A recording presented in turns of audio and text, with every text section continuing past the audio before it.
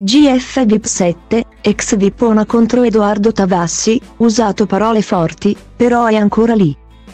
Eleonore Ferruzzi è stata una delle Vipone più discusse che hanno preso parte all'attuale edizione del GF VIP 7, che sta per volgere al termine.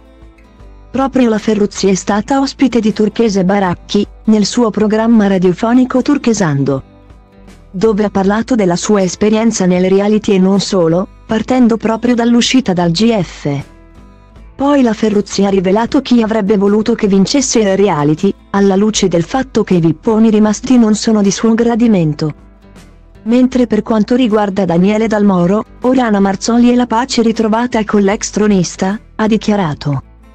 Nel corso dell'intervista poi la Ferruzzi ha spiegato quali rapporti si porterà dalla casa nella vita reale ed è tornata a parlare di Daniele.